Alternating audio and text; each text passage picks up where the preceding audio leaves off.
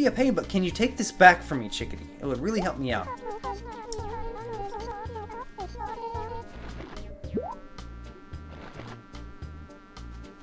I hope Groucho isn't mad at me for hanging on to this for so long.